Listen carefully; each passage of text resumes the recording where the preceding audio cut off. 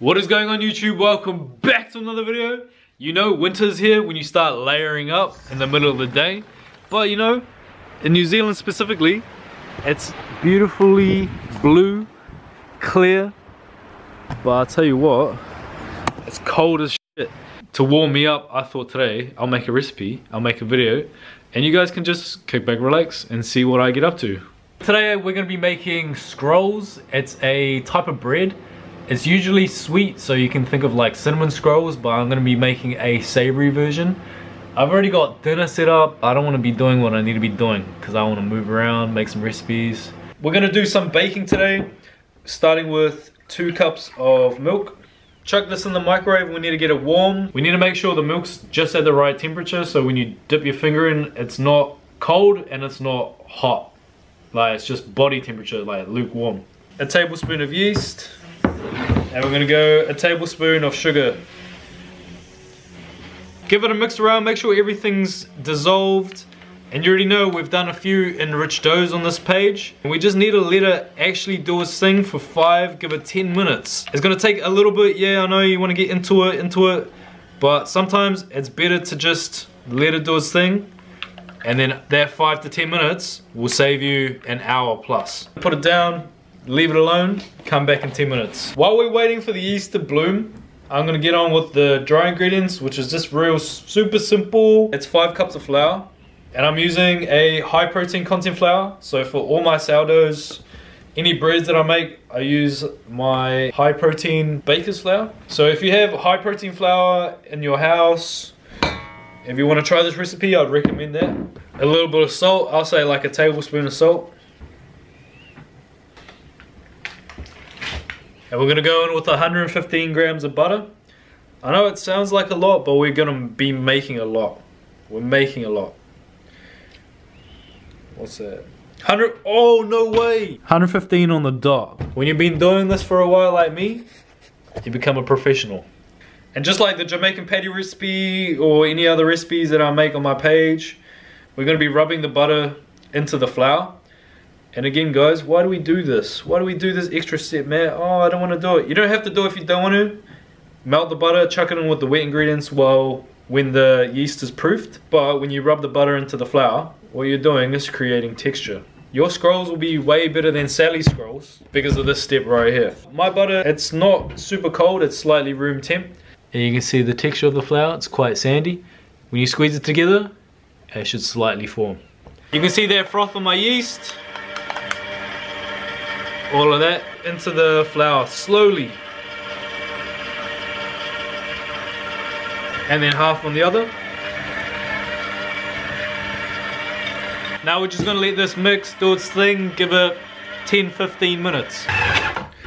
Timer's just gone off. See how smooth it is? It's from a stand mixer, baby. And look how elastic the dough. Oh, it just wants to keep going until it rips. Make sure everything's mixed well no dry bits, you know, sometimes you get the crusty bits. We got the bowl, we got the dough, a little bit of oil, and we're just gonna go in, grease the bowl.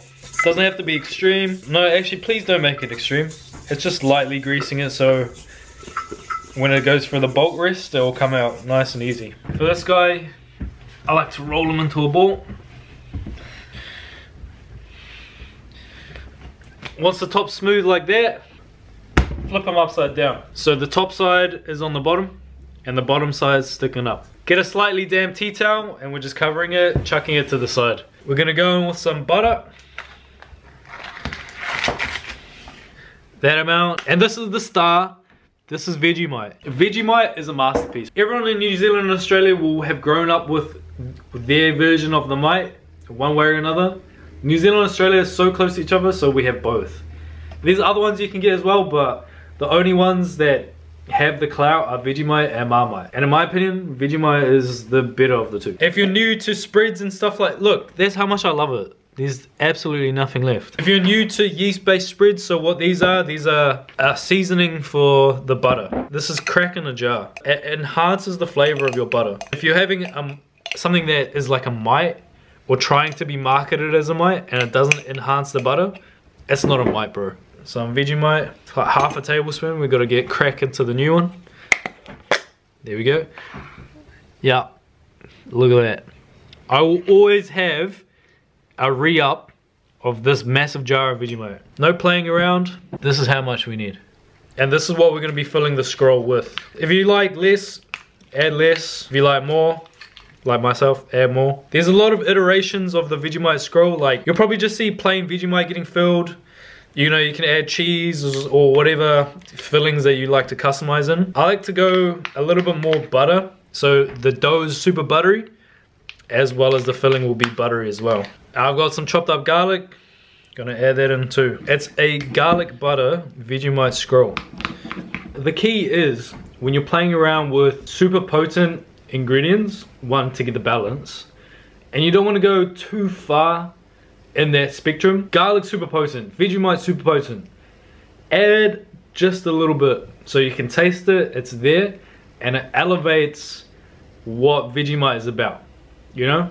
That hardcore savory, and then the garlic brings that astringency and fragrance from being garlic. And it's different to using like a garlic powder or anything like that. It'll thicken the spread up a little bit too much, but bro, we're adding this with cheese. There's lots of butter. You'll be fine. Like after an hour, you can see super puffy. And what we need to do is smash the air out. It's uh, bottom side up.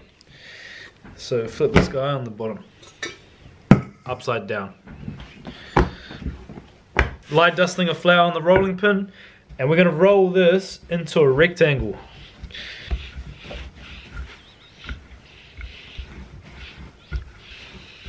So I've rolled all my dough out to this thick. I would say it's roughly a quarter of an inch. Just shaping it a little bit more rectangle. Now we're gonna go in with our Vegemite mixture.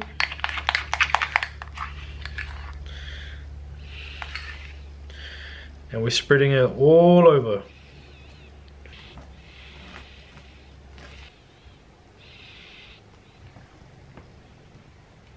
Okay, everything you can see here, it's spread out nice and thin, a decent amount of coverage, but remember, this is Vegemite and butter. If you're just doing pure Vegemite, you're in for a rough time.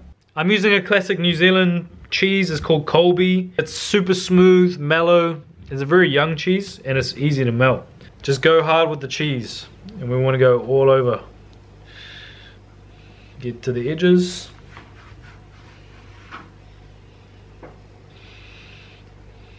And this is gonna melt this is gonna make it delicious. You can see there's not too much on top. Now we're just gonna roll. You want to keep it quite tight. The best way to go about it is to just do it. Don't overthink it too much. Because no matter what it will come out okay.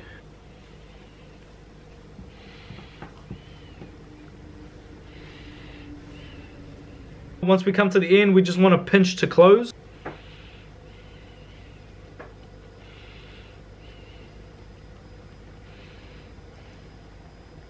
Any scrolls that you guys are making, the key to get clean cuts is to use floss. If you don't have floss or can't be bothered, use a knife, that's all good. Before I cut, I will just go and gauge how thick I want each roll to be.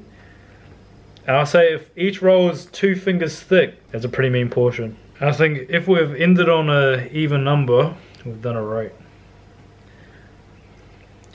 So we got two, four, six, 8, 10, 12, 14, 16. Go underneath onto the line that you've cut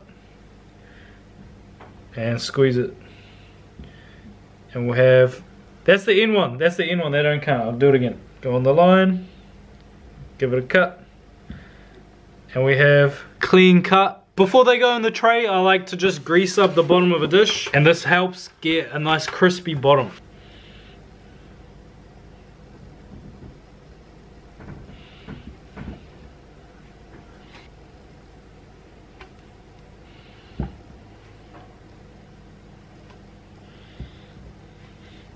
Ooh, that looks beautiful. Uh, I've got just the lonesome, a little lonely, but that's alright, I've got a mini cast iron. Try that in, and this is gonna be the test bake. We won't waste them. This guy's going in the oven. I'm baking 180 Celsius and we'll put them in for 15 minutes. And in the meantime, while we got all our scrolls, just chuck that damn tea towel back over the top for another 20 minutes. Tester just came out, cooked it for 20 minutes. You can see this is no egg wash. It came out pretty freaking good. All right, it's been a better part of half an hour. Let's reveal what we're working with. Oh my God, look at this. They are all so beautiful, puffy, taken shape quite nicely. I've got some egg wash, just egg and a little bit of milk, and we're going all over the top. It's gonna give us a nice brown color, golden crust, offer a little bit of caramelization to the dough while it's baking away. If you're making scrolls or anything like that at home, you would want them to touch.